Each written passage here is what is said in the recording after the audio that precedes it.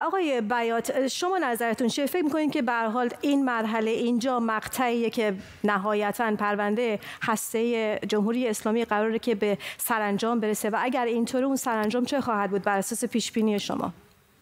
سرانجام واقعا نمی‌تونم بگم به سرانجام برسه. اونم چه سرانجامی.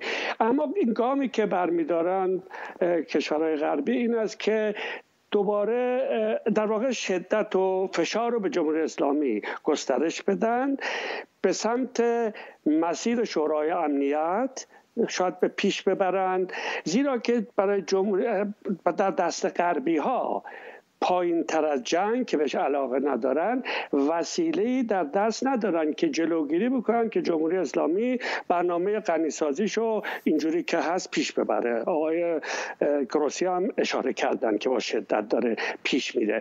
حالا اتفاقاتی که میفته من فکر می‌کنم جمهوری اسلامی در واکنش در مقابل کمچین اقدامی. همونجوری هم که خبرنگار شما پرسش کرد واکنشش به احتمال قوی افزایش غنیسازی و پیشبرد سریعتر برنامه هسته خواهد بود. آنچه که در دست غربی هاست.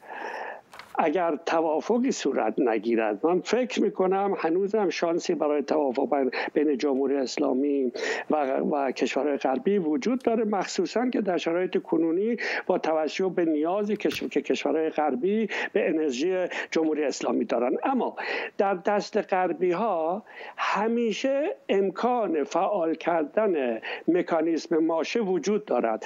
امریکا دیگر نه چون در برجام نیست. اما از طریق فرانسه آلمان انگلستان هر کدامشون می‌توانند موضوع رو به شورای امنیت ارجاع بدن و مکانیسم ماشه جوری تعبیه شده که اصلا احتیاج نیست که روسا باش موافقت بکنن یا مخالفت بکنن.